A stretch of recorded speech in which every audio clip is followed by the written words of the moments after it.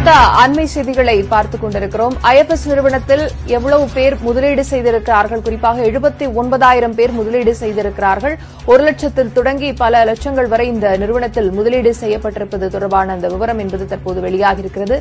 இந்த விவரங்களுடன் பின்னணியுடன் செய்தியாளர் அன்பரசன் இணைந்திருக்கிறார். அன்பரசன் தொடரலாம்.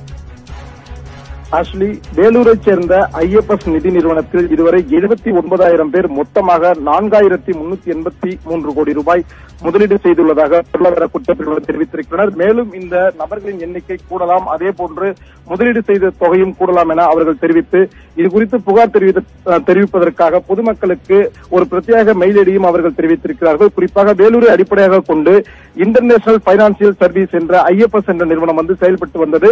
இதன் உரிமையாளர்களான லட்சுமி நாராயணன் வேத நாராயணன் மற்றும் ஜனார்த்தனன் ஆகியோர் இணைந்து இந்த நிறுவனத்தை நடத்தி வந்தார்கள்.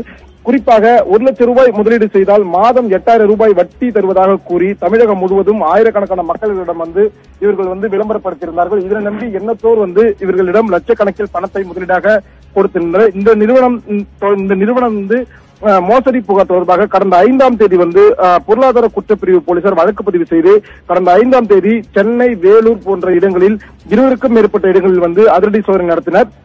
இந்த அதிரடி சோதனையில் முதற்கட்ட சோதனையில் தான் இவர்கள் மொத்தமாக இதுவரை எழுபத்தி ஒன்பதாயிரம் பொதுமக்களிடம் நாலாயிரத்தி முன்னூத்தி எண்பத்தி மூன்று கோடி ரூபாய் முதலீடு பெற்று அவர்களை மோசடி செய்திருப்பது முதற்கட்ட விசாரணை தெரிய வந்திருக்கிறது. மேலும் சென்னை அரக்கோணம் வேலூர் உள்ளிட்ட இடங்களில் இந்த நிறுவனத்திற்கு அஹ், நெருங்கியவர்கள் அதே போன்று நண்பர்கள் அந்த அதன் டைரக்டராக இருக்கக்கூடிய நபர்களின் வீடுகள் மற்றும் உறவினர்கள் வீடுகளில் தொடர்ச்சியாக சோதனை நடத்தப்பட்டு வருவதாகவும் பொருளாதார குற்றப்பிரிவு அதிகாரிகள் தெரிவித்திருக்கிறார்கள்.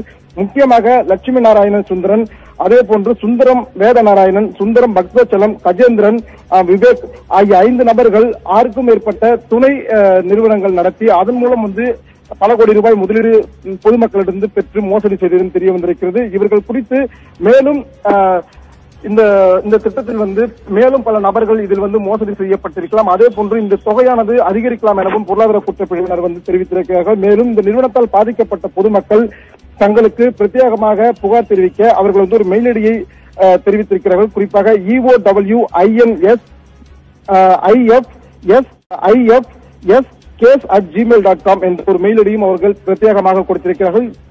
பாதிக்கப்பட்ட மெயிலடியில் தங்களது புகார்களை தெரிவித்தால் உடனடியாக நடவடிக்கை எடுக்கப்படும் எனவும் பொருளாதார குற்றப்பிரிவு அதிகாரிகள் தெரிவித்திருக்கிறார்கள் ஆஷ்லி. விவரங்களை விரிவாக பதிவு செய்தமைக்கு நன்றி.